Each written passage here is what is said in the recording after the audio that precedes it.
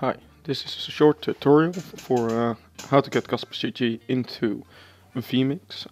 Uh, but first you need to activate or set your settings of CasparCG to NDI. If you don't know how to do this, I will make a tutorial later on, but uh, I will have a link in the description on how to get around the usual bug with sending NDI with CasparCG.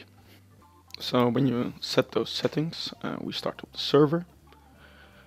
And next up, start up vMix. At input, we go to NDI. And in my network, this is the only source. Click the source. And let's try it out with playing out a template in the CasparCG client.